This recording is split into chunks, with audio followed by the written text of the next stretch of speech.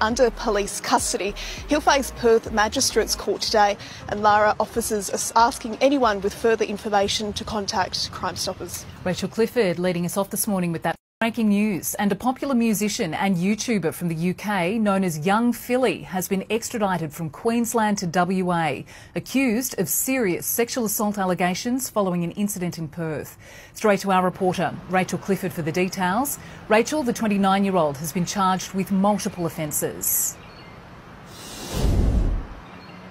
Lara, they are serious offences. He's facing four counts of sexual penetration without consent, three counts of assault occasioning bodily harm, and one count of impeding another person's normal breathing or circulation. Detectives from the Sex Assault Squad say the 29 year old man sexually assaulted a woman in her 20s in his Perth hotel room after he performed at an event in Hillarys on September 28.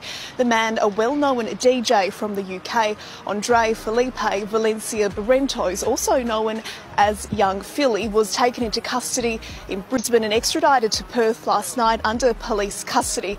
He'll face Perth Magistrates Court today, and Lara officers are asking anyone with further information to contact Crime Stoppers. Rachel